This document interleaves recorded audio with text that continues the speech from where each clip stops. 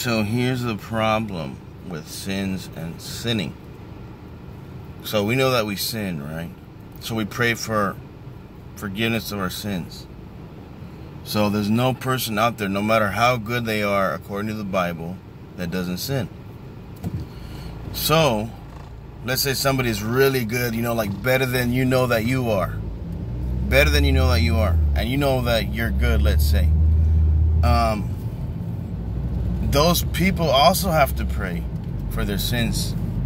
But maybe they're like, maybe they're wondering, you know, what are my sins? You know, what what is it that I'm sinning?